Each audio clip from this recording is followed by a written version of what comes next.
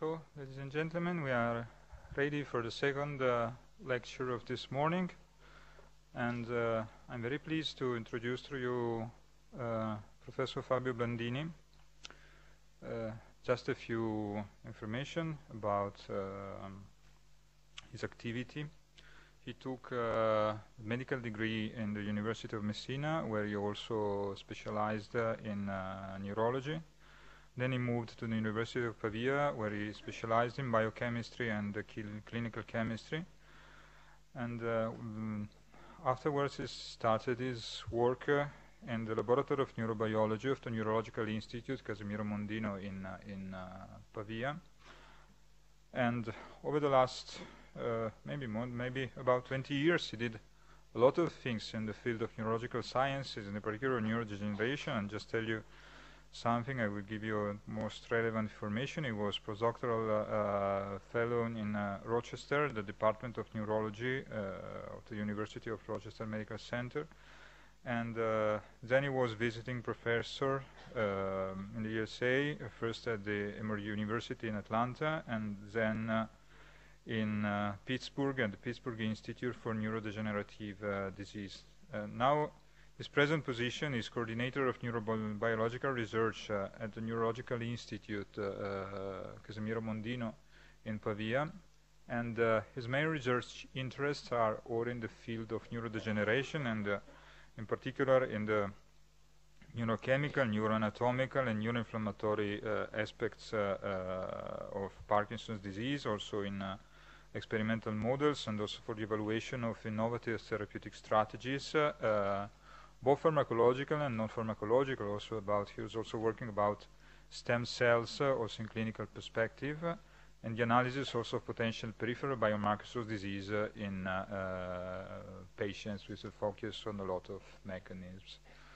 And so, uh, I'm very pleased to invite Fabio Blandini to give his lecture, please.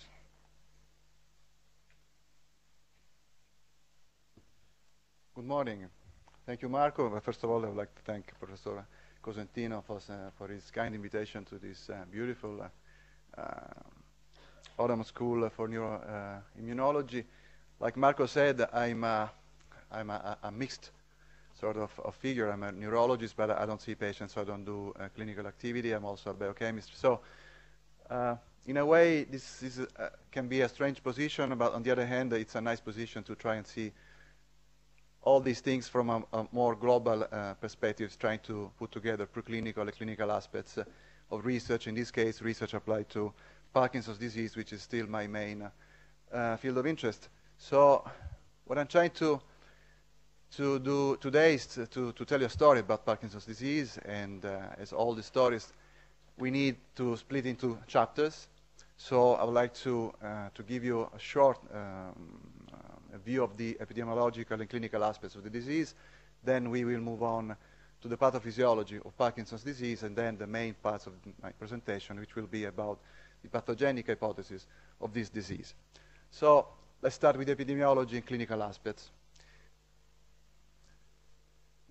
Parkinson's disease, as you know, is the second uh, most uh, frequent neurodegenerative disorders in the general population. The first uh, disorder in this sense is Alzheimer's disease the main risk factor of uh, uh, Parkinson's disease is age.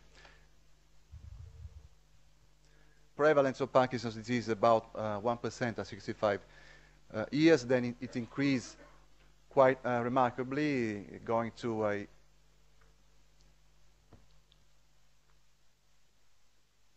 pointer.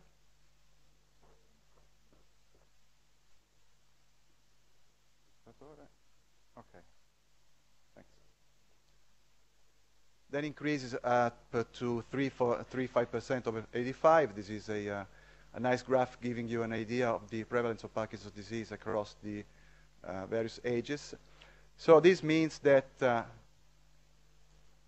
prevalence of this disease is increasing, and if you consider the, uh, that the uh, age of the general population tends to increase, that means that in the future, the next future, not in 100 years, we will be facing more and more PD cases, which will translate in more uh, in higher costs in terms of uh, uh, social and mm, healthcare costs. So this means that we need to know more and more about the causes underlying Parkinson's disease. This is the uh, worldwide distribution of Parkinson's disease. As you can see, it is a disease that tends to, to strike uh, more relevantly the uh, Western uh, industrialized um, um, countries. Um, there could be some explanation to these, some epidemiological biases, some uh, genetic or even uh, um, health uh, nutrition-related uh, factors that may influence this distribution, uh, that, but it remains the fact that this is a disease that tries, tends to hit most prevalently the Western countries.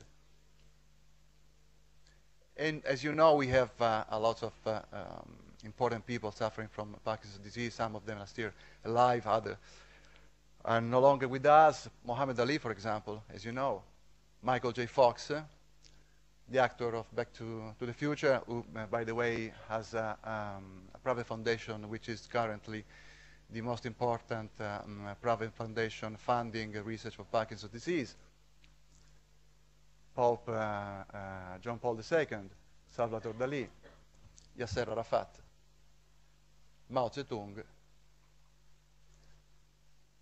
I don't know whether anyone recognizes this guy, Francisco Franco, and some people say that also this guy had Parkinson's disease. So there is a, a strange relationship between Parkinson's disease and, and, dictators, which is something that maybe in the future could be worthwhile uh, exploring.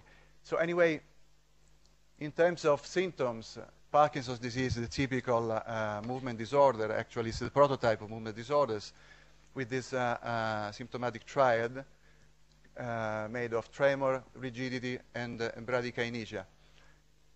Uh, what has become more and more uh, evident in the last uh, um, 10, 15 years is that this movement disorder triad is also accompanied by a number of non-motor symptoms which are becoming more and more relevant, uh, not only from the clinical point of view, but also in terms of the uh, neurobiological uh, um, substrates that underlie these symptoms, which include autonomic dysfunction, gastrointestinal dysfunction, sleep disorders, mood disorders, and cognitive defects. So what is uh, becoming uh, uh, more and more clear about Parkinson's disease is that PD is a uh, very complicated disease. And uh, here I'm showing you, for example, a, recent uh, um, study in which the authors studied two big cohorts of patients, one in, in uh, in Holland, the other one in Spain. The aim of this study was to try and characterize whether it was possible to uh, identify clinical subtypes of PD according to the presence of motor and non-motor symptoms. And uh, actually, the authors were able to identify four subtypes in which the various symptoms were combining uh, differently. And the conclu conclusion was that uh, uh, the recognition that Parkinson's disease is a complex, complicated um, uh, clinical entity, it is important because it may have consequences for epidemiological studies and trials, uh, which so far have considered Parkinson's disease as a homogeneous disorder, which is not. Another thing that we must uh, take into consideration, uh, thinking of the complexity of Parkinson's disease, is that uh, Parkinson's disease is a typical sporadic disorder, but in a 10-15% of cases, uh, we have familial uh, forms of Parkinson's disease which are linked to uh, specific gene mutations, the first of which has been uh, identified in 1997. And, uh, that was a mutation uh, on the gene encoding for alpha-synuclein, which has become, as we will see in the next slides, the most important protein in the neurobiology of Parkinson's disease. So we have sporadic Parkinson's disease and genetic Parkinson's disease, so the complex, the uh, um, picture of PD gets even more and more complicated. Pathophysiology, which means what happens uh, once the uh, disease starts to, uh, to develop in terms of uh, uh, neural circuits, neurochemistry, neurobiology, neurobiological changes in, in general. Well, first of all, PD is a basal ganglia disorder. As you know, basal ganglia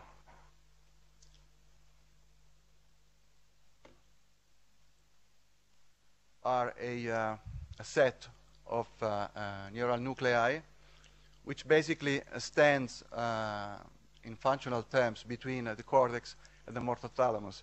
So we have the striatum, which is the main uh, structure of this uh, circuit, which basically uh, function as a sort of funnel, so funneling all the inputs coming from the cortex, which need, which uh, um, are the purpose of uh, initiating movement. Then the signal flows through the, the circuit. We also have an additional entry point, which has been recognized more recently, which is the subthalamic nucleus. So I don't, I'm, I'm, not going too much into details, but what happens if everything goes uh, well, this signal is uh, uh, processed within uh, the, the circuit, and then the output nuclei send the, the result of this processing to the motor thalamus, and then from the motor thalamus back to the cortex, the loop is closed, and then we can execute correctly our voluntary movement.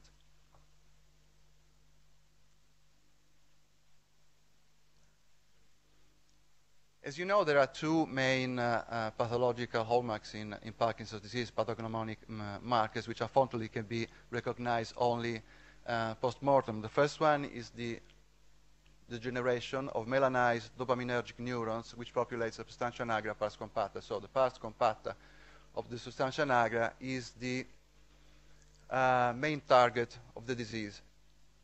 This is a typical uh, um, picture coming from any neurological textbook. Uh, you can see here the substantia nigra in a normal, uh, this is a mes mesencephalic uh, section. In the normal subject, this dark area is the nigra.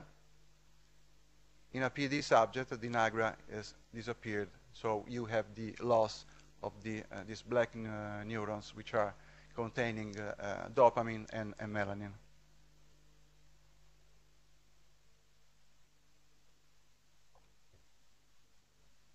Actually, uh, we lose uh, dopaminergic neurons uh, throughout uh, our life. We start losing these neurons, and we keep losing neurons uh, during our life. And you can see here the normal, the normal uh, decline in the number of dopaminergic neurons.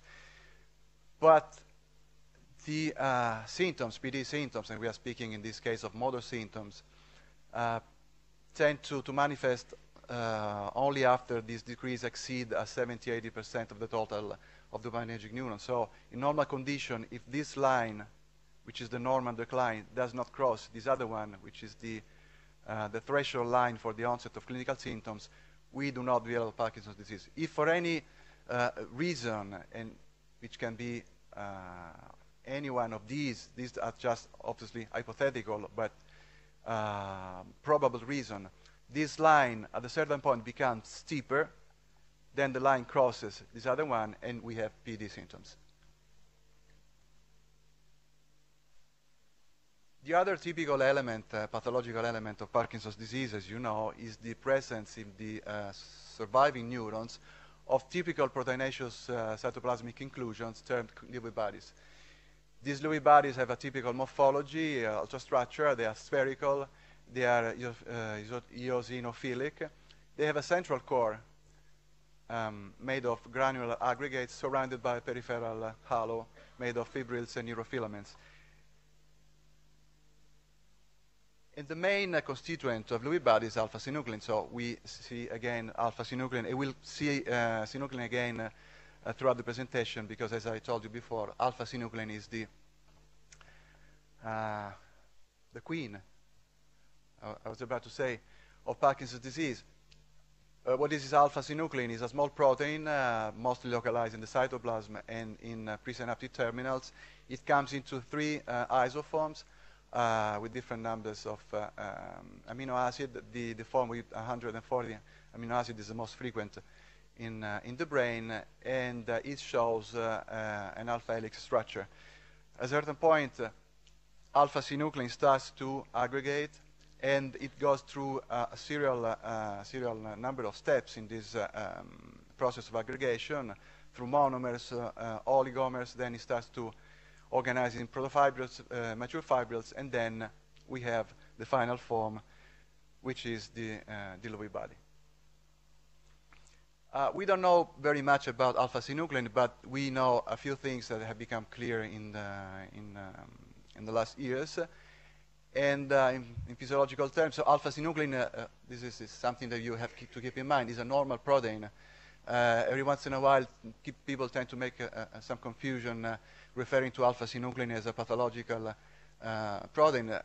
alpha-synuclein becomes pathological when it is overexpressed, is mutated. In other words, when, he, when uh, it uh, starts to aggregate. Otherwise, it's a normal uh, protein that has a series of functions.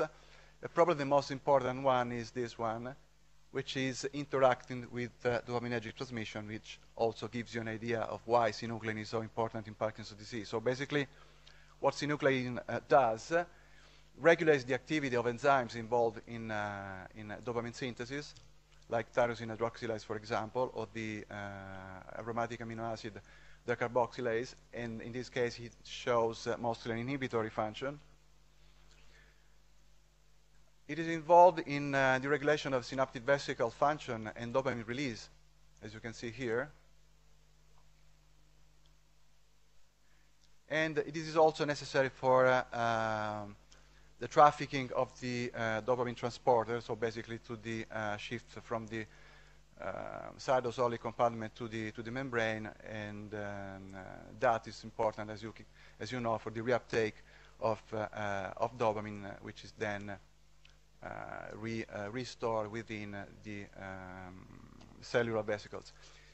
So when synuclein is is pathological, so when it is overexpressed or it is mutated, all these uh, uh, activities are no longer uh, physiologically regulated. So this gives you an idea of why synuclein interferes or why synuclein can be so important in PD pathogenesis, not just because it is aggregating, so it is basically stuffing uh, cells with uh, uh, abnormal proteins levels, but also be because in, in, functional terms, it is interacting in a negative way with the, the uh, dopamine transmission.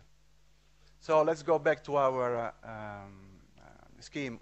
Obviously, I mean, this is a very simplified scheme. This is a scheme that's been very popular in, in the 90s. And uh, as all these schemes, it has pros and cons. It is nice to have a scheme. It gives you a clear idea of the picture. On the other hand, we obviously have to keep in mind that in nature nothing can be so simple. But it's helpful because it helps us understand what can uh, go wrong when uh, the nigra starts to degenerate. So basically, the first thing is that the striatum is deprived of dopaminergic afferents. And uh, uh, to make uh, things a little bit easier, the most important thing is that this nucleus, the subthalamic nucleus, which is the only excitatory nucleus in the circuit, you can see here it's green because green is the color here of, of glutamate, so it is the only glutamatergic excitatory nucleus of the circuit. So STN becomes overactive, it starts uh, um, uh, sending um, overactive projections to the target nuclei, in particular to these two nuclei, which we, we have seen before, the output nuclei. So basically what happens is that since these nuclei are inhibitory, red means GABA, the general, the final output of the circuit is reduced because the inhibitory pathway is, is enhanced. So this uh, feedback between the thalamus and uh, the cortex is, uh, is less functioning. And basically, this is what uh, could, uh, of course, give rise to the motor symptoms of Parkinson's disease. How do we cure this? And uh, this is obviously nothing new. We basically give a substitute for, for dopamine for the deficient neurotransmitter, not directly dopamine, we give a precursor levodopa uh, which is still uh, the most used uh, drug in Parkinson's disease, although it has been around for 50, 50 years almost right now, but still you have to use uh, levodopa in a PD patient. Uh, with time, there have been other uh, add-on therapies, also uh, neurosurgical therapies, but uh, uh, nevertheless, levodopa is still the gold standard in, in PD um, therapy. There are two basic problems with this therapy. The first one is that this is a just symptomatic therapy, so it does not modify in any way the progression of the disease. Uh,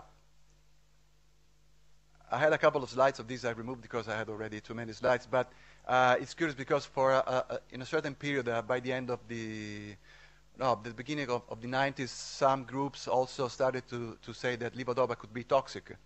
So, and that was uh, a sort of paradox, as you can understand. So, thinking of a therapy that on one hand was helping patients relieving their symptoms, on the other hand uh, could um, uh, support the, the, the degeneration uh, underlying the disease. So that was something that you know, clinicians in particular were, were very worried about. Then it, it became clear that levodopa can be toxic, but at very high doses, which are the doses that you can use in experimental setting and in vitro or in vivo in animal studies, but uh, at doses that uh, are very hard, very difficult, almost impossible to reach in, uh, in patients. So Levodopa is symptomatic, uh, does not modify the uh, progression of the disease, and uh, it also has a, a number of side effects which become manifest after a, a, few years of treatment.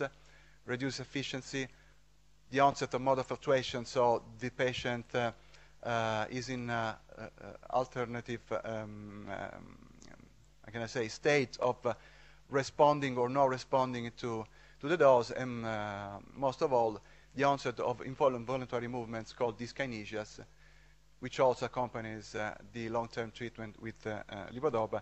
So all these things together makes us understand why it is so important to find new uh, therapies of Parkinson's disease, which so far, I mean, is the, uh, the main field of, uh, of interest for, I would say, all the people working in, in Parkinson's disease research.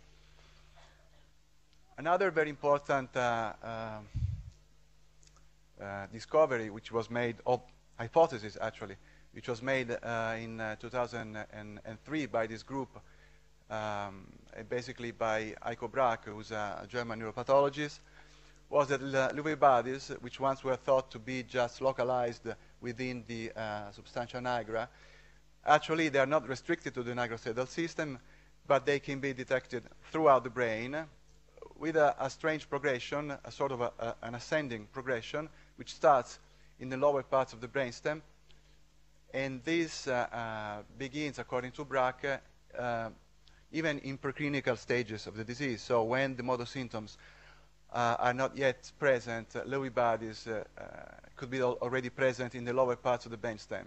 Then Lewy body starts to, to diffuse, to colonize the rest of the brain with this ascending progression they move up to the, uh, to the brainstem.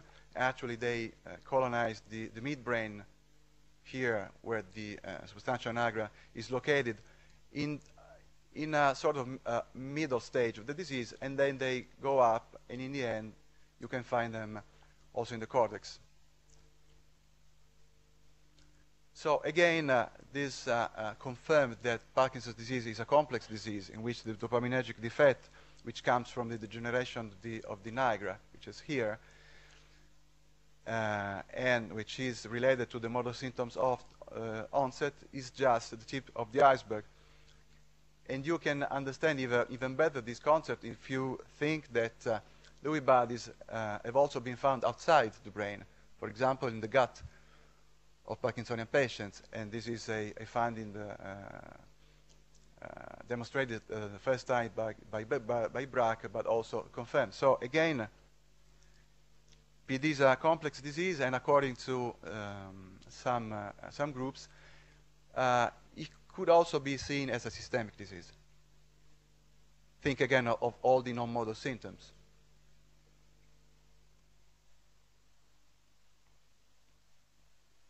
So it is, it is a complicated disease. You can see here, this is a nice picture that gives you an idea of how uh, the symptoms of, uh, of PD evolve across time. You have uh, a preclinical uh, uh, phase which in a way could correspond to the uh, first two stages of the uh, Braak uh, progression. Then the, the disease starts. It starts unilaterally, so it uh, hits um, just one part of the body. Then it spreads to the contralateral side of the body. And then the progression uh, uh, goes on and on. You have the motor complications and dyskinesias, which are mostly related to the uh, drug therapy, as we, we, we just saw. Then instability unfolds. And then we have the onset of uh, um, cognitive and psychiatric symptoms, which could be related to the spread, spreading of uh, those Lewy bodies also to the, to the cortex. So it is a complicated disease. Is it a systemic disease? We don't know yet, but there are some systemic components. Uh, and that it's, it is a disease that keeps going and on and basically never stops, no matter what we do, at least so far, with the knowledge that we have right now. So this is why this is so important, understanding, and I'm coming to the third chapter of, of the story, which is the longest one. Why is it so important to know more about the, the pathogenesis of, uh, of Parkinson's disease? So, uh, PD pathogenesis. We don't have one single uh, uh, mechanism. Uh, there are possibly uh, multiple uh, uh, mechanisms interacting with each other. Here, I'm, I'm, giving you an idea of the possibly the three most important mechanisms that are um, definitely involved in the pathogenesis of Parkinson, which are mitochondrial defects, oxidative stress and uh, protein aggregation defects, or uh, uh, you can also call it protein um, mis mishandling or proteolytic stress. These are all synonymous which superimpose over a background where genetic uh, uh, factors and environmental factors also play a very important uh, role.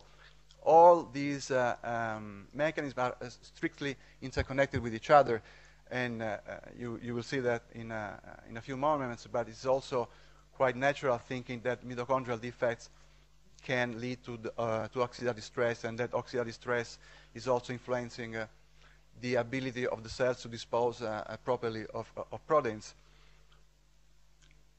So basically, uh, when all these mechanisms interact with each other, we end up with cell death in the substantia nigra pars compacta with an additional mechanism that I put here, and I put it here because we, are, uh, we don't know exactly where else to put it right now. It could be uh, just part of this uh, um, bigger picture, or maybe this is the right place. We don't know yet, but we know definitely that inflammation is another uh, element that uh, uh, is involved in this sort of, of cascade. So I would like to give you a couple of, of um, of, uh, of pictures and, and data regarding uh, every each and one of these uh, of these mechanisms, starting with mitochondrial defects.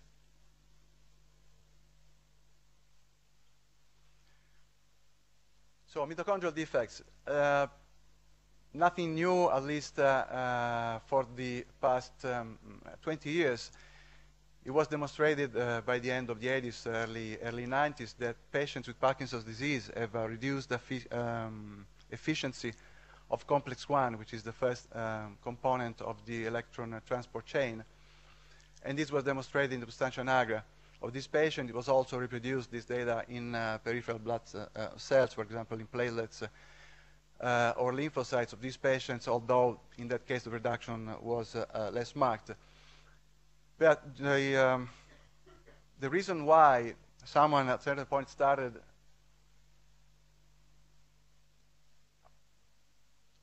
to study complex 1 is, you can see it here in this, in this picture. As you may know, at the end of the 80s, um, there were a, a number of, um, of uh, PD cases in, in, in US, I think it, that was in, in California, in, in young subjects.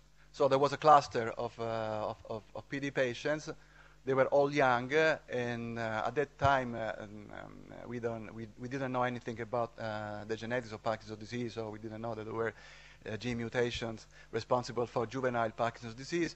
So there were these uh, uh, patients coming to the observation of, of clinicians, and in a, in, in a little time, it became uh, obvious that all these uh, uh, subjects had had been using a, um, a drug of abuse, a, a sort of um, um, chemical heroin, which in fact, which had been synthesized by probably by a, a poor chemist, uh, which in fact was uh, uh, synthesizing not this, uh, this drug that the, these um, young guys were looking for, but it was synthesizing this toxin, MPTP. So then it was demonstrated that MPTP, which is a very lipophilic substance, crosses very easily the blood-brain barrier, and uh, once in the, uh, it is in the brain, it is uh, converted by monoamine oxidase B into MPP plus, which is the real toxin. So MPTP is actually inactive. It has to be converted into MPP plus. Then MPP plus is uh, actively transported, uh, exploiting the, the DAT, so the dopamine transport uh, system, into the uh, neurons. So it is concentrated selectively into the dopaminergic neurons of the substantia nigra, once in the neurons, it goes uh, to the mitochondria, and within the mitochondria, MPP plus blocks complex 1. So this is why, at a certain point, someone uh, thought of uh, um, starting to study complex 1 in, uh, in patients. Uh, with time, the concept of mitochondrial involve involvement in, uh, in PD has further evolved.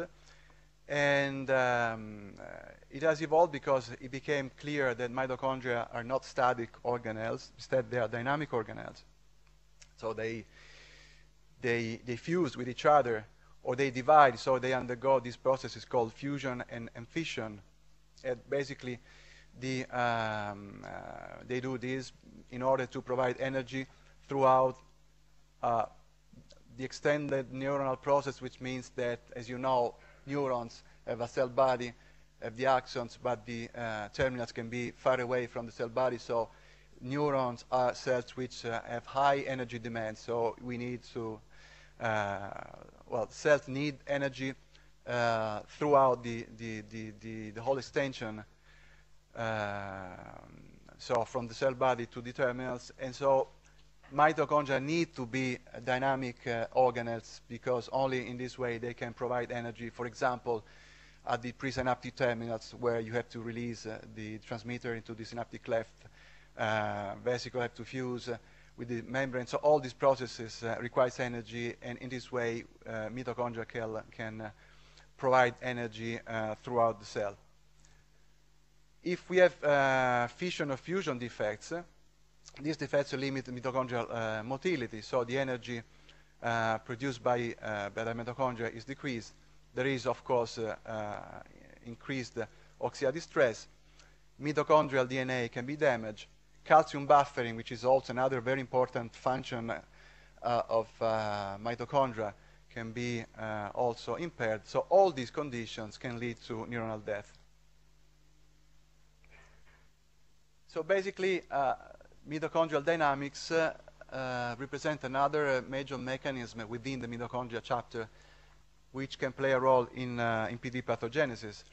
And why just in PD pathogenesis? So why mm, uh, mostly in, uh, in dopaminergic neurons? Because dopamine itself can interfere with, with mitochondrial efficiency. it has been shown, for example, the, that mitochondrial density and mass are lower in the substantia nigra pars compacta uh, neurons. And then we know, we I just briefly mentioned this, that dopamine is a very powerful uh, uh, pro-oxidant, so it, it undergoes auto-oxidation and also enzymatic, enzymatic oxidation, and these also lead to impaired mitochondrial respiration and membrane permeability. And also dopamine can modify uh, the function of several chaperones, which are proteins that play a very important role in the quality control of, uh, of, uh, of mitochondria. So this is why uh, mitochondria can play a role, it can be directly impaired, particularly in dopamine-containing neurons. Uh, very important uh, uh, information regarding this specific topic have been derived from the study of familial PD. And this is because virtually all proteins that are involved in genetic uh, mm, uh, PD, and most of these proteins are kinases, are associated with mitochondria. LRRK2, for example, which uh, is, uh, is uh, mutated in the park8, which is a, a more frequent dominant form of genetic PD, and synuclein have been found associated with the mitochondria other, other membrane. DJ1 uh, it is a cytosolic uh, protein uh, which, uh, under condition of oxidative stress, can translocate to the mitochondria, um, serving as an, uh, an antioxidant uh, um, element. PINK1, which is another kinase, can be localized both to cytoplasm and mitochondria, and PARKIN,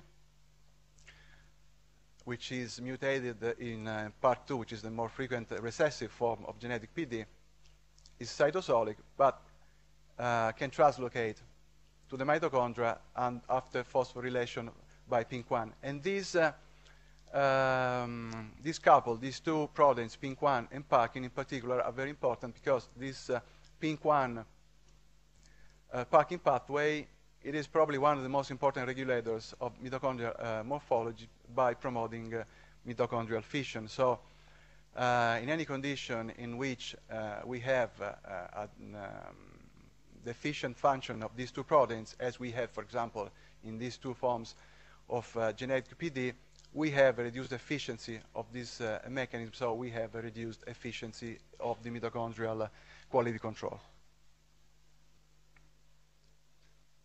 Oxidative stress, well, after all we have said about mitochondrial impairment, oxidative stress comes al almost natural as a uh, additional mechanism uh, in the pathogenesis of Parkinson's PD, of uh, Parkinson's disease.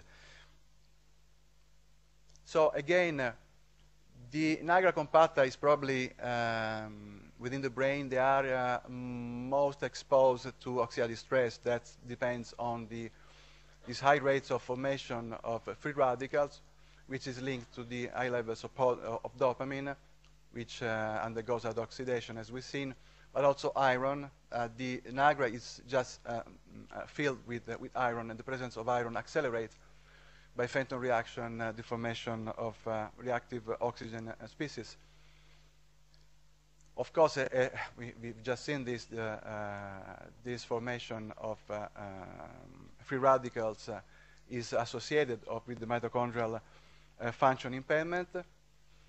And all the major uh, PD-inducing toxins like uh, MPTP, MPP+, the one that we, that we, have just seen, but also rotenone and uh, 6-hydroxydopamine, they all cause massive oxidative damage within the nigrostriatal tract. And finally, there are um, several post-mortem studies uh, which have shown uh, increased uh, uh levels of oxidized uh, proteins, lipids of oxidative damage to the DNA, so in the brains of Parkinsonian uh, patients.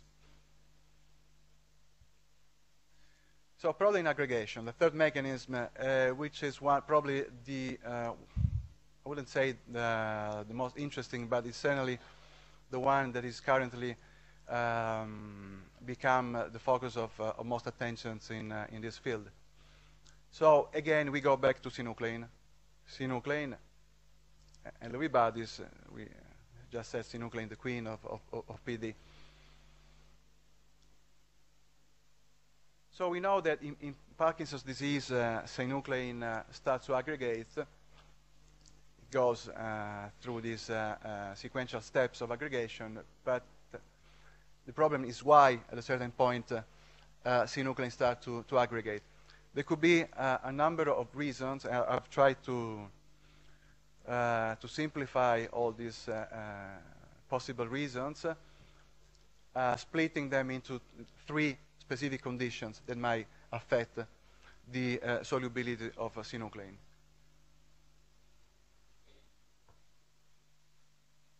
So we might have genetic um, genetic reasons, post-translational modifications, and also uh, quantitative defects. So in other words, uh, defects in the uh, activity of the degradation pathways of the, of the cell, particularly the ubiquitin protein system and the autophagy mechanism, which could um, uh, uh cause reduced removal of uh, synuclein and then triggering accumulation uh, of, uh, of this protein. So let's start with the first one, gene mutation. So I just said that mutation in synuclein was the first mutation recognized in the field of uh, familial uh, Parkinson's disease. Uh, there are a couple of, uh, of mutations uh, that have been uh, recognized. All these mutations basically change the solubility of this protein. So mutated mutant synuclein tend to form fibrils um, far more rapidly than wild-type synuclein. There is also uh, the, another form of, of familial PD in which synuclein is not mutated, but just overabundant. And this is linked, this is due to a duplication of triplication in the synuclein gene. So in this case, we don't have uh, uh, mutated synuclein, we have just too much synuclein. And this is also another reason to induce uh, intracellular precipitation. So the cell is now is not able to, to deal with uh, all that much synuclein that keeps uh, forming uh, inside. Another possible region, uh, reason uh, for uh, synuclein aggregation, and we here at, at the post-translational level, you can see here it's a number of, uh, of post-translational modifications, uh, phosphorylation, nitration, oxidation, which can uh, modify the structure, the alpha helix um, structure of synuclein so favoring the aggregation of, of synuclein. Phosphorylation, for example, is very important because uh, the synuclein that you find in, uh, in Lewy bodies is typically uh, phosphorylated uh, on these uh, residues serine 129. Uh, so this is typical of the synuclein that a pathologist will find in, in the Lewy body. On the other hand, we just um, talked about oxidation, which plays such an important role in PD, so you can understand now very easily how oxidation can be linked to the mitochondrial defect, but also to uh, stress.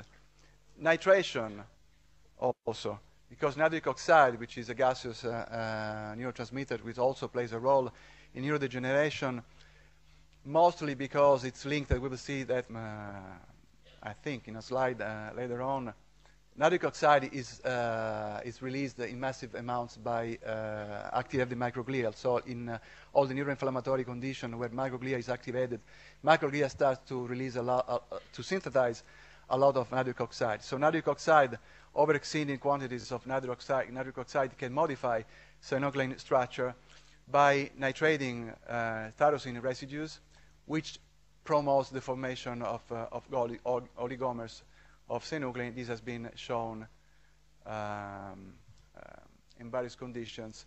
In uh, PD patients, you see that uh, uh nitrated uh, alpha-synuclein uh, selectively accumulates in, in Lewy body, but also in animal models of, of um, animals, for example, intoxicated with MPTP. In this case, you will have a massive formation of three nitrotyrosine in the substantia nigra of these animals.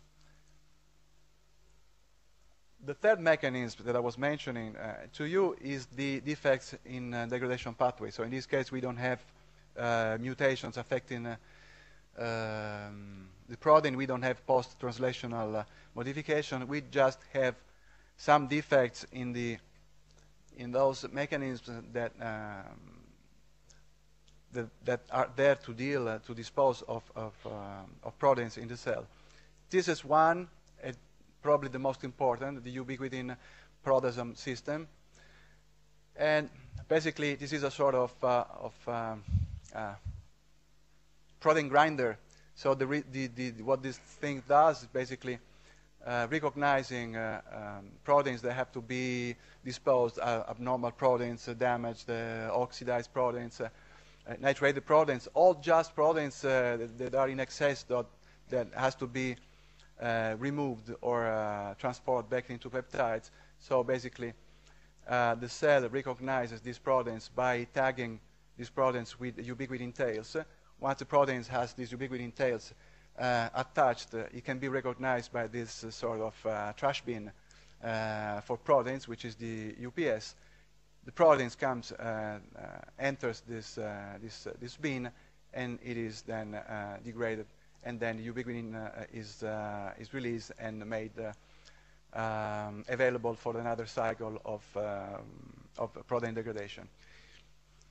This system apparently does not work very well in Parkinsonian patients. Uh, there are uh, defects, uh, for example, both in the levels and activity of the catalytic subunit of the proteasome, which is the 20S um, subunit, which is reduced by 40-50% in the substantia nigra of Parkinsonian patients. Uh, we have seen that this reduction uh, is also uh, recognizable in peripheral blood uh, cells, for example, in, uh, in, lymphocytes of Parkinsonian patients, but not in Alzheimer's patients. So it seems as this uh, um, defect could be just specific for, for Parkinson's disease. And it also seems that this defect might be generalized, and this um, take us back to the, one of the first concepts that I showed you this morning, which is that Parkinson's disease could be actually a systemic disease in which uh, uh, these, these modifications could be um, um, possibly detectable or, or, or, present anywhere in the body, but only in, the, in those areas of the brain, the substantia nigra, they combine with each other, or maybe with other elements, environmental uh, components, for example, giving rise to the uh, neurodegenerative process. But if the, these uh, um, defects are in fact generalized, we should be able to, to see them basically anywhere. And for example, right now we don't, I don't have this uh, uh data uh, with me, and actually I'm not showing much of our data. I wanted to, to give you just a general uh, view of the of the whole chapter, but we are extending this evaluation on um, fibroblasts of, of, Parkinsonian patients, uh, isolated um, culture from uh, skin biopsies, uh, for example. And we are uh, studying, we, are trying to replicate this finding, uh, first of all, and then we are uh, examining the, the, efficiency of the autophagic system. The first thing that we saw is that also the fibroblasts of these patients show reduced activity of the proteasome 20S at a degree which is similar to the degree that we observed in, in the lymphocytes. And then, of course, in, uh, in animals, but anything works in, in animals. I mean, all the experiments that you will do in, in animals, uh, unless you do something really wrong, they, they work al almost, uh, almost always. The problem is that when you try to translate your, your result, your preclinical result, to the clinical uh, um, field, and then things change. But anyway, in, in animals, uh, if you infused uh, proteasome inhibitors, there are many available also commercially into the nigrostriatal tract of rats, you cause neurodegeneration and formation of cytoplasmic inclusions which are positive for alpha-synuclein ubiquitin so which are uh, like they, they like to, to call them Lewy body-like inclusions. The other defective mechanism uh, um, that I mentioned uh, before, which uh, could influence uh, the, um, just the amount of synuclein within the cell is, is, is, autophagy, which is another thing that right now is very, um, uh, very fashionable. You have to study autophagy if you want to be a, a really cool uh, scientist. So everybody's studying uh, autophagy. But, I mean, joking aside, uh, there have been um, um uh, a large number of, of reports showing that autophagy and autophagic pathways, because as you know, there are more than one uh, autophagic pathways can be um, involved in PD pathogenesis. And uh, in this sense, uh, it is interesting to consider that alpha-synuclein, uh, as you can see here in this nice uh, review published very, very recently, could be at the same, uh, at the same time both cause and consequent consequence of autophagic dysfunction, be, be, because if you see here synuclein accumulation of, of intracellular synuclein could be a direct uh, um, consequence of a defect of dysfunction in macroautophagy. Once it's established, al alpha-synuclein uh, increase could um, lead to dysfunction of uh, CMA, which stands for chaperone-mediated autophagy, which is another type of, of, of, uh, of autophagy. This dysfunction leads to lysosomal dysfunction, and so basically impairs uh, cell function leading to uh, neuronal death. So alpha-synuclein, once again, stands in a very crucial uh, crossroad of the PD pathogenic mechanism.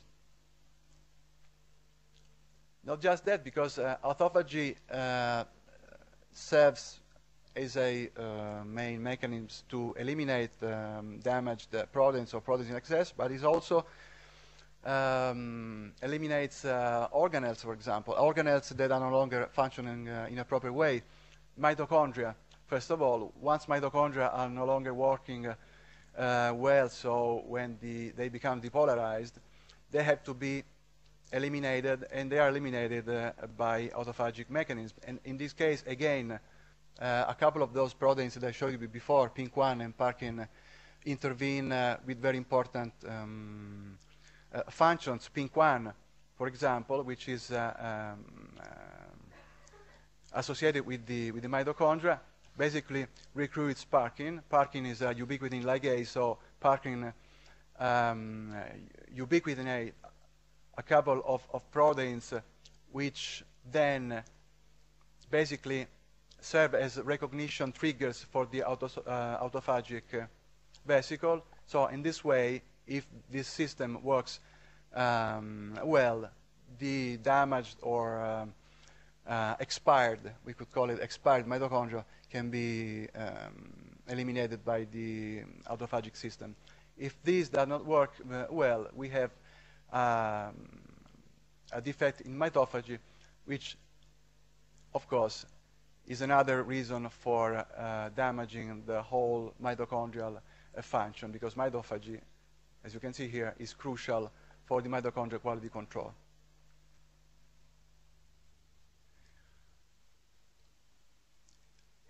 Uh, it is interesting to, uh, to know that although uh, there have been uh, hundreds of studies uh, on, on Lewy bodies, so on these typical cytoplasmic inclusions that we find in PD patients, we still are not sure whether Lewy bodies are better or, or, or, good for the cell. So in other words, whether they are protectors or, or perpetrators. Um, there are some groups who, who say that uh, um, Lewy bodies, of course, are, are, damaging the cells because they are basically intoxicating, suffocating the cells. Other groups, they say that this uh, ability of the cells to um, um, recognize these proteins and uh, to isolate them into these uh, um, inclusions could be a sort of protective mechanism, at least in the first stages of the disease. And this is something very important to, keep in, to keep in mind because there are, speaking of inno in innovative therapies, there are also some uh, uh, immune-related um, therapeutic um, attempts in which, for example, uh, some groups are trying to um, use anti-synuclein antibodies just to prevent the formation of Lewy bodies. So you understand how important that is. If, if Lewy bodies are just damaging the cells, so it's important even to um, prevent the cells from the formation of these Lewy bodies. On the other hand, if Lewy bodies are protective, you are just depriving the cells of a, at least an initial form of, of, cellular protection. So it is extremely important to, to resolve this, uh, this issue. So um, uh, I like this, this, the face of this guy uh, because I, I, thought that he could uh, introduce quite well the next couple of slides uh, that I'm going to show you. Uh, a surprising discovery, and we are still in the field of Lewy bodies. It was really surprising uh, because, uh, so we have to make one, st one step back. One step back. Uh, in the mid-90s, there were uh, some attempts to cure Parkinsonian patients by transplanting fetal tissue. So by transplanting cells which were already differentiated toward uh, a neuronal type able to release dopamine, so not uh, stem cells. They were uh, embryonic or fetal uh, dopaminergic neurons. Uh, the results were mm, moderate, uh, not exciting. the first studies were open-label studies. Then the NIH sponsored a couple double-blind placebo-controlled studies, and in, in these um, control studies, basically, uh, the, the researchers saw no differences between uh, uh, grafted and sham-operated patients. Additional problems also were noted, for example, the um, uh, very important occurrence of dyskinesia in these patients. So anyway, basically, this whole field of studies uh, uh, was um, basically abandoned because of this motor complication. But the important thing is that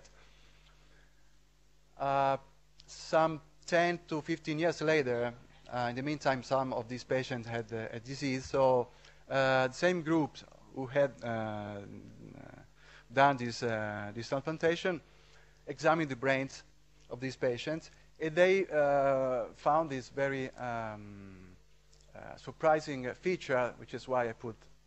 So this is, I think, this is the right expression to make, because they saw that even uh, the neurons uh, that had been transplanted, so the, uh, the healthy neurons, show the presence of alpha-synuclein positive Lewy bodies. So it, it is as if also the, the, um, the healthy neurons had become sick with Parkinson's disease after, after a while.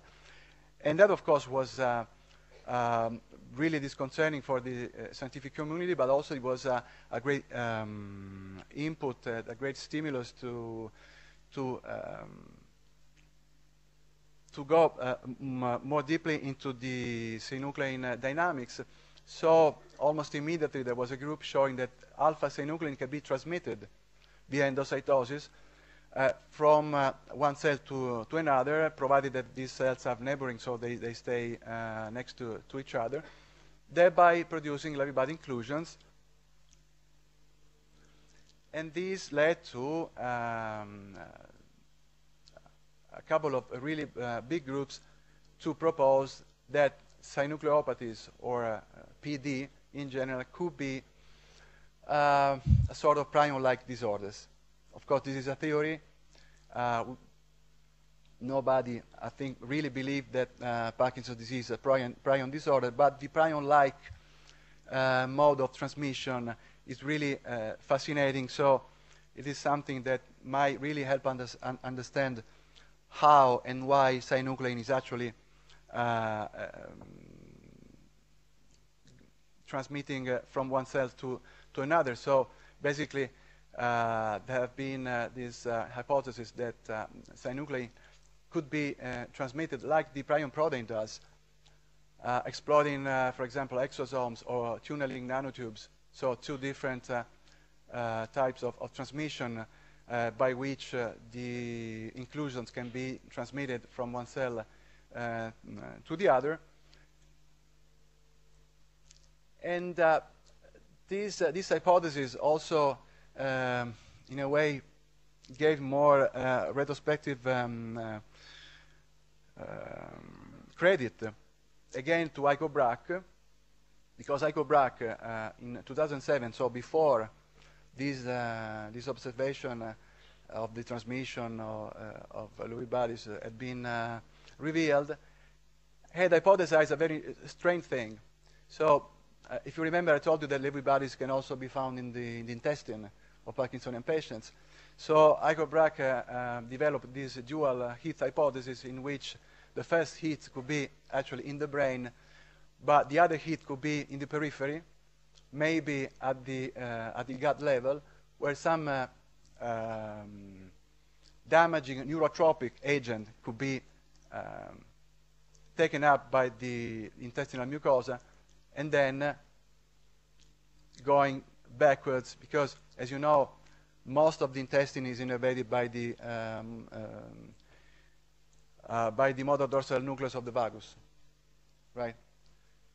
And actually, this nucleus uh, in the Braak progression is the first nucleus that can be involved in Parkinson's disease. So what Braak hypothesizes is that if there is a, any agent like this, which can be, uh, let's say, absorbed by the mucosa, incorporated in the neurons, then it could, back, it could uh, travel back along the vagal nerve, going all the way up to the, morsel, uh, to the dorsal motor nucleus of the vagus, which is in the lower part of the brainstem, and from that point it could start spreading uh, in that uh, um, bottom-up uh, sort of, uh, of, of transmission.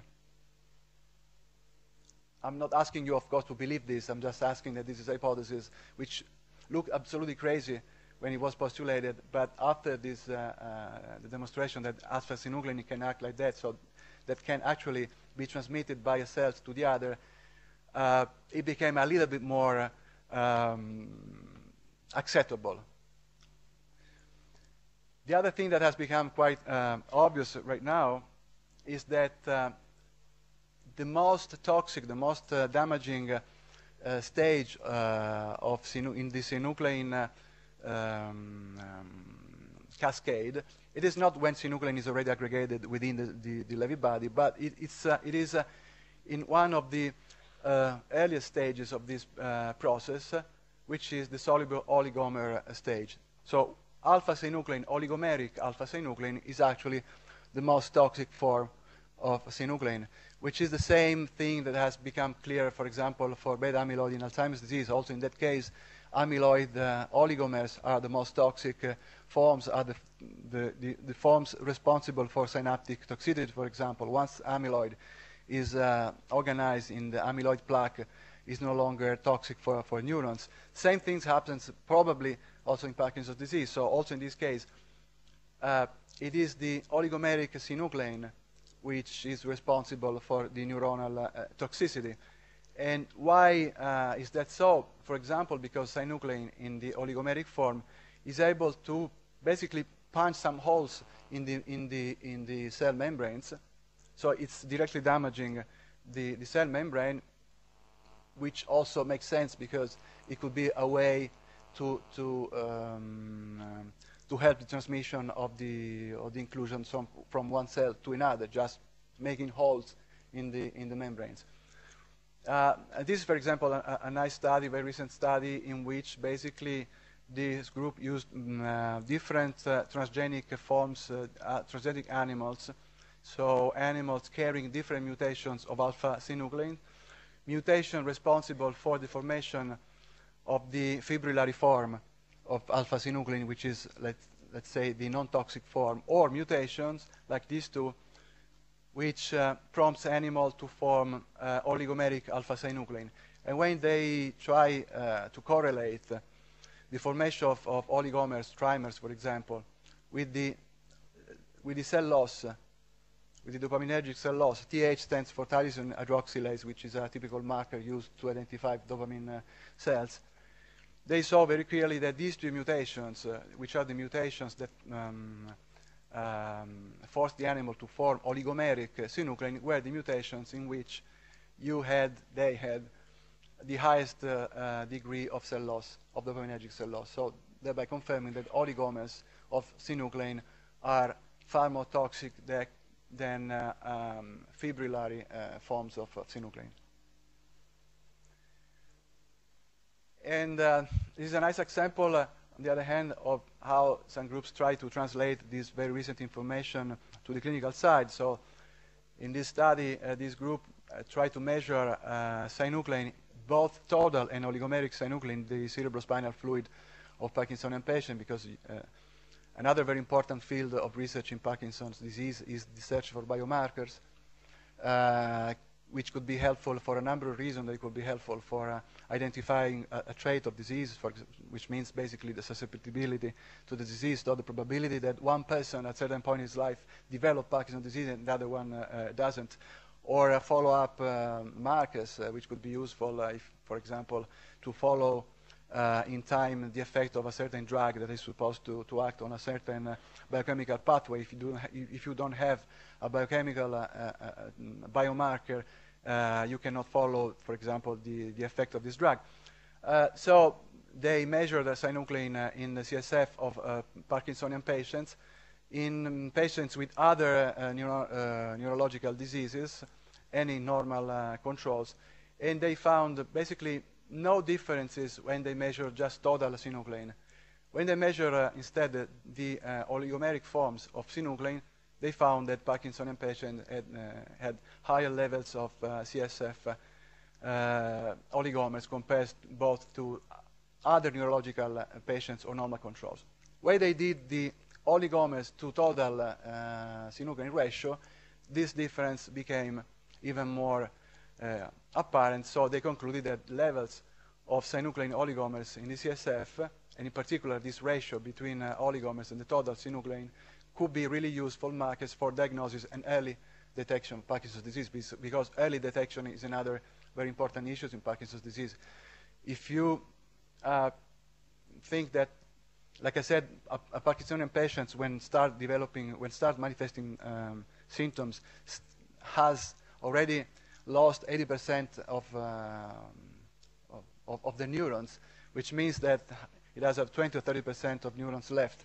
But a, a patient in, uh, at first diagnosis is still uh, an active person. Is, they still can conduct a, a almost uh, normal life, which means that that 20, 30% of remaining cells are still uh, enough for, um, for conducting a, a, good life. So if it is possible, if, I mean, if we had the possibility of diagnosing very early uh, the, um, the disease, even without preventing the disease, but just stopping disease progression at that stage, even you know, maintaining that 20% of cells could be just enough for a patient to uh, still conducting a, uh, an active life with a, with with a, with a good, good um, quality of life. Genetics. Un'ora e mezza, giusto Marco? Genetics, I will go very, very uh, quickly because I already introduced this, and this is just, I mean, we will need just a week to, to, to, to explain everything about uh, PD genetics, so I'm just uh, mentioning again, uh, for historical reason, this, which is the, the first mutation uh, demonstrated in, uh, in, in, PD families, which, which um, hits the synuclein gene, demonstrated in 1907, and then other mutations that have been demonstrated in, uh, in these familial forms of Parkinson's disease.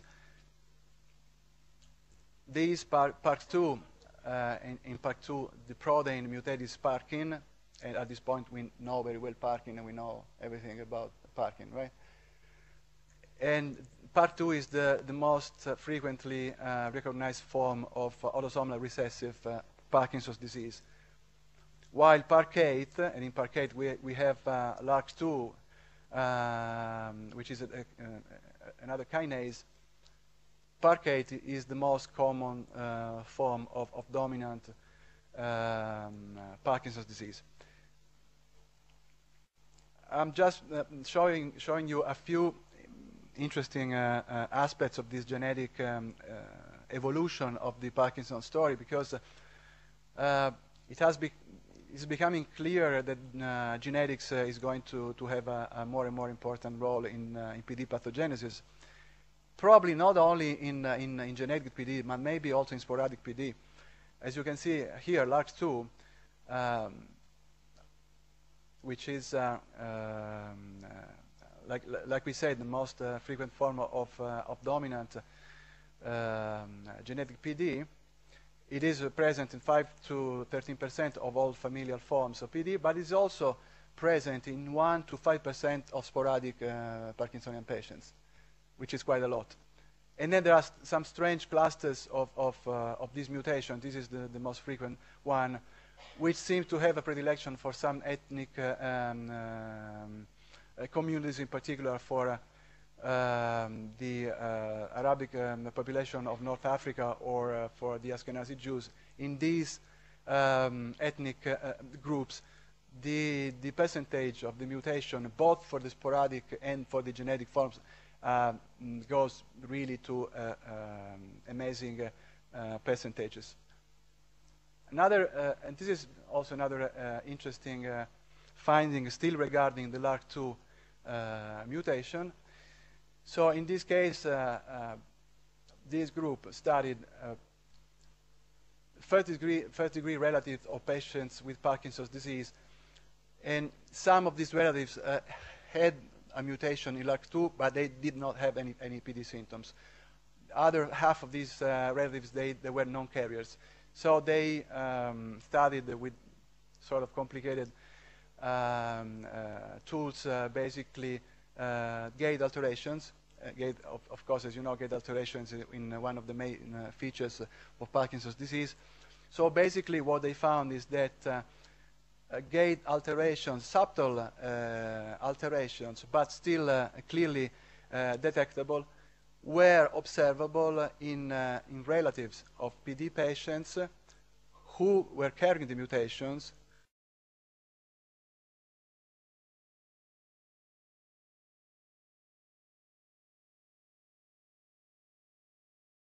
that this uh, of mutant LAC2 could actually um, uh, represent a sort of a premotor, pre-symptomatic uh, um, uh, condition that may actually increase the risk of developing Parkinson's disease later in life. I don't know whether this is clear. Hmm? Ah, l'andatura, il, il cammino.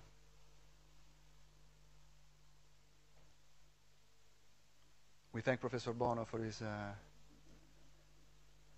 helpful uh, intervention. And um, uh, another thing that has been recognized um, very recently, uh, which is also very, uh, very important, is that uh, uh, there are some genome-wide association studies which have been performed in, in large, large cohorts of sporadic, this time, sporadic PD patients, uh, evaluating, for example, the, um, the frequency of, of common variants, uh, so basically of, uh, of SNPs, so single nucleotide polymorphisms, and uh, all these studies have confirmed the presence of, uh, of SNPs in sporadic uh, patients affecting mostly, again, the synuclein uh, uh, gene and uh, MAPPT, it's, we, we, we, better call it tau, which is a very important protein, as you know, in Alzheimer's disease. So these SNPs in these two genes have been consistently reported in sporadic PD patients.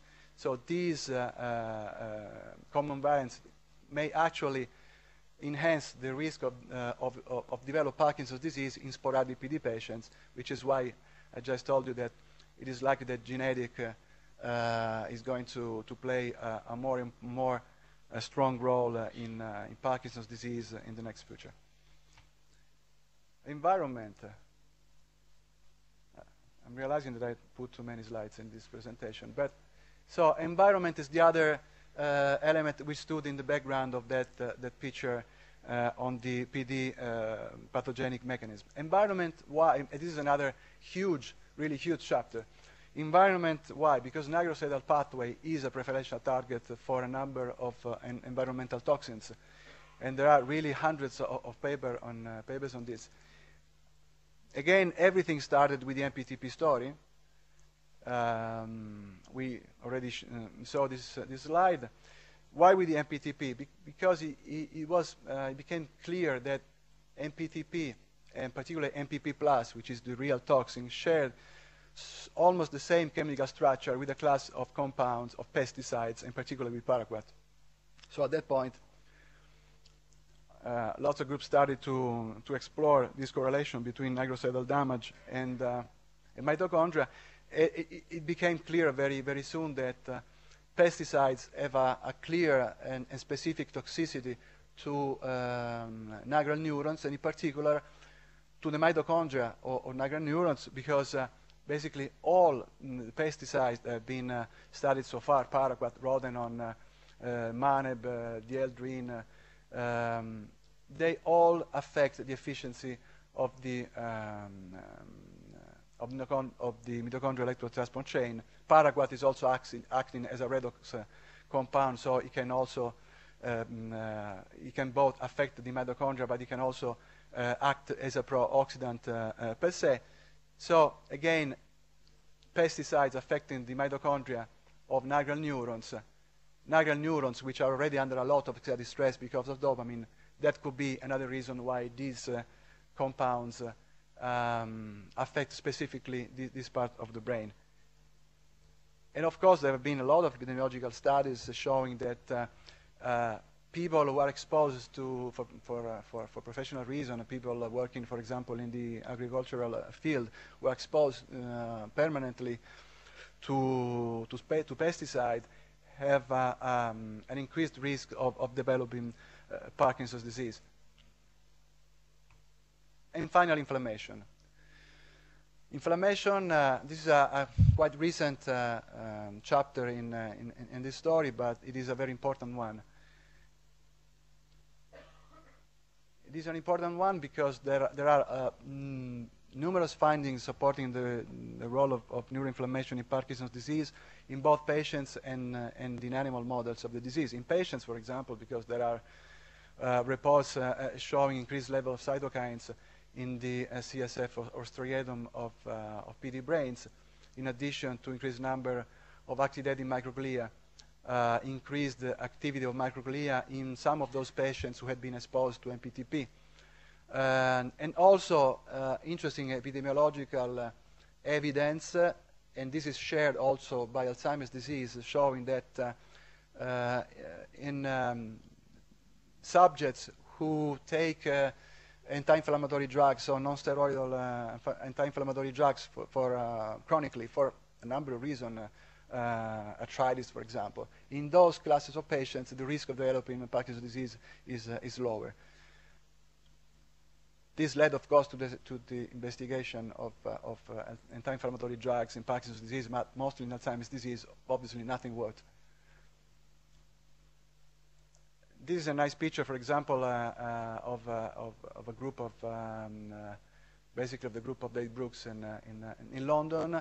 They used a PET um, imaging technique which used this tracer which basically identified activated microglia and they showed quite nicely here, this is the, the brain of a normal subject, this is the brain of Parkinsonian subject. You can see the, area, the areas in, uh, in, in, yellow are the areas where the traces is uh, recognizing the activated microglia, which means that, uh, uh which basically uh, tells us uh, that microglia is massively activated in patients.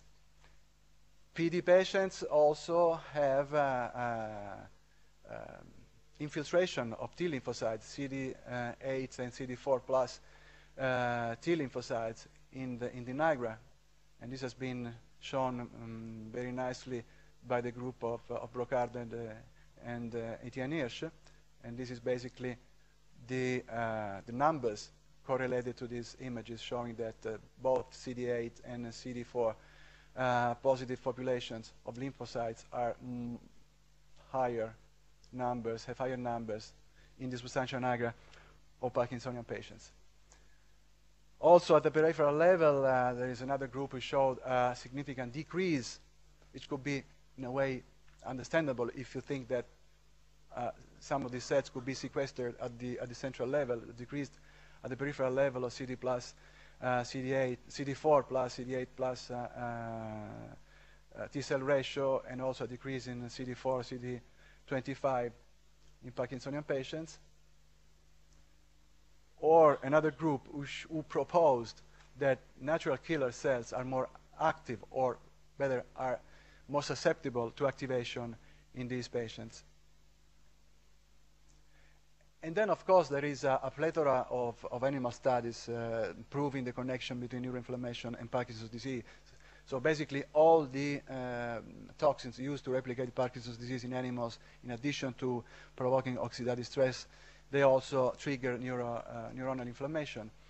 They trigger, again, uh, T lymphocyte infiltration. This is, for example, a study by the same uh, group as before uh, with uh, in uh, mice treated with MPTP. As you, you, can see here, the infiltration of lymphocytes in the nigra. And again, the role of microglia, which seems to be the, the, the most important one. Microglia, I'm not telling you anything about it because you know that, because it's, it's very late right now. But microglia is certainly playing a, a very important role in Parkinson's disease to the point that some groups, uh, in particular the group of, uh, by, uh, of Etienne Hirsch, proposed that microglial activation could be an early phenomenon in the whole process underlying uh, Parkinson's disease. So they made this, this nice uh, scheme. In, in, this case, they correlated the progression to a single uh, um, and uh, recognizable toxic insult, which is the MPTP um, administration. And according to their theory, as you can see here, the blue line, the microglial cell activation could represent a really early phenomenon corresponding to the first initial stage in which there is already a neuronal distress, but neuronal death is, no is, is not uh, massive yet, probably neuronal death is already uh, ongoing, but possibly is not uh, um, easily recognizable at this level, then the other uh, immune-related uh, um, phenomena comes in, uh, the T-cell infiltration and the activation of astrocytes. And at that point, we have the neuronal death, and we have the formation of the cytoplasmic inclusions. And like I said before, microglial activation is associated with induction of uh, inducible uh, uh, nitric oxide synthase, which means, in other words, that microglia, once it is, is activated, release a lot of nitric oxide, which is uh, rapidly transformed into um, um, reactive oxygen species, RNS, and these, like we, we, we saw before, could represent an additional mechanism piling up with the other mechanisms that induce oxidative stress uh, leading to neuronal cell death.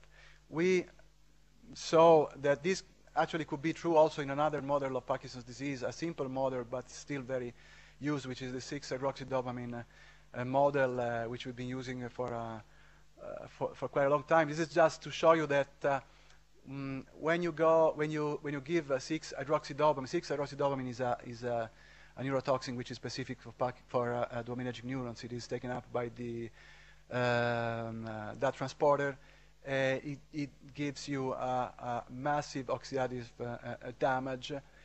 but when you injected in this striatum, the striatum is the place where the dopaminergic terminals are. So you have the terminus and the striatum and the cell body in the nigra, which is uh, quite far away from, from the striatum. You have an immediate lesion at the striatum. You can see the hole here caused by the toxin. But in the, in the nigra, where the cell bodies are, one week later, you still have the cell bodies represented there, which, which does not necessarily mean that nothing is happening here. It just means that you don't have still yet a, uh, a clear neuronal loss. Neuronal loss starts later on, after two weeks, and then it keeps going. So we basically uh, try to see how microglia was behaving in this uh, experimental setting. Uh, we saw, for example, in this striatum, this is a, a, typical staining for an antigen which is expressed by the activated microglia. This is an Im image taken in normal sham animals, so non-lesion animals. Microglia is almost invisible, so is, is uh, in the resting uh, state. This is the staining for TH, so this is the staining for dopaminergic terminals. They are there. There is no no damage, of course, because this is a normal animal. This is one damaged animal. You can see the huge activation here in the microglia, and the TH signal uh, has disappeared, which means that terminals are, are, are damaged, destroyed. And this activation is maintained throughout the whole experimental period, which in this case was, four weeks. And that was the striatum. In the Nigra, I told you that in the Nigra, the cell loss starts uh, later, let's say two weeks after this striatal insult. So this is, again is the normal animals, nothing. This is the lesion animals. You can see that after a week, the, the cell bodies, the dopaminergic cell bodies, were still uh, there, and you can't see any uh, real difference between uh, the control and the damaged animals. But, but the microglial activation was already clearly visible. Uh, it went down considerably after two, four weeks, but after four weeks, we saw also the neuronal damage in the, in the nigra compacta. So that, in a way, goes quite well with the idea that microglial activation could be a very early phenomenon, possibly preceding the actual loss of uh, neurons. And nitric oxide, again, could be um, a nice way to link all these, uh, these mechanisms. So the last few um, slides, just to to show you, I don't know, probably in the audience there is someone working with animal models of Parkinson's disease or with animal models of neurological disease uh, in general. Is there anyone? Excellent.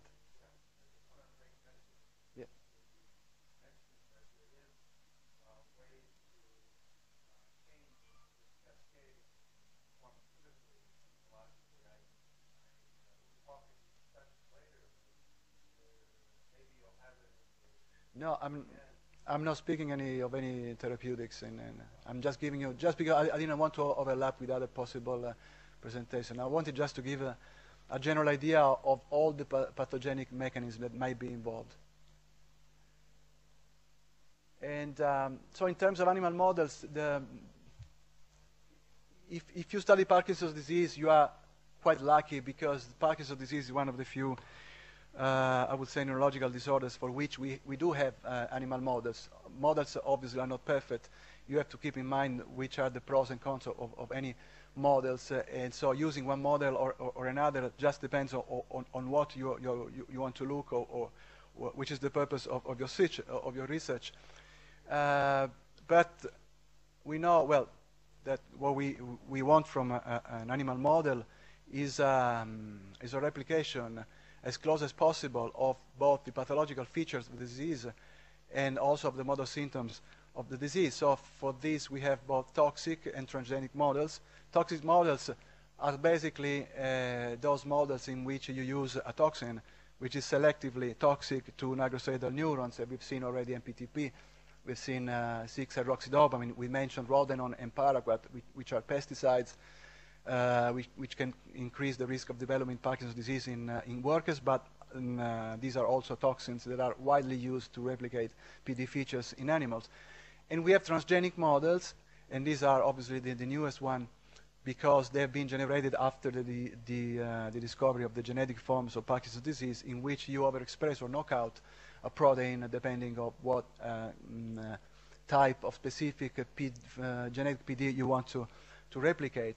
So this is just a, a, a, brief list of the main toxic models uh, used to, to re replicate PD and PTP that we have seen already, which works, or uh, yeah, MPTP probenecid is a, is a, is a variant of, of, the MPTP uh, model, which basically uh, serves just to prolong, to, to make the effect of MPTP uh, stronger because it uh, um, decreases the clearance of, of, of MPTP, and you can use them in monkeys or in mice, not in rats because rats are insensitive to, to MPTP. Rodenone and paraquat, which are used in, uh, in rats. And then toxins that can be locally infused, MPTP, uh, MPP plus, sorry. And most of all, uh, 6-hydroxydopamine, which is old, which is simple, but, but which is still probably uh, the most frequently used toxin to replicate uh, Parkinsonian uh, features, uh, at least in in rats. And this is just two ideas of how a, a, uh, a striatum and a nigra uh, show in an animal, this is a monkey that received MPTP uh, through an intracarotid injection uh, of the right side. You see here that the TH signal has completely disappeared compared to the left unaffected side.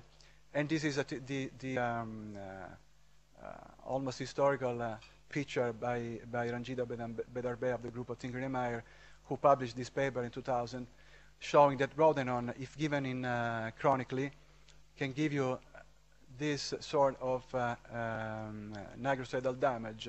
So damage of dopaminergic terminals in the striatum and cell bodies in the nigra, in addition to the, the presence of the formation of cytoplasmic inclusion. Uh, and that was a very popular paper because it was the first paper showing that in an animal model of Parkinson's disease, before the transgenic models uh, um, came into the picture, you could actually have the formation of uh, inclusions.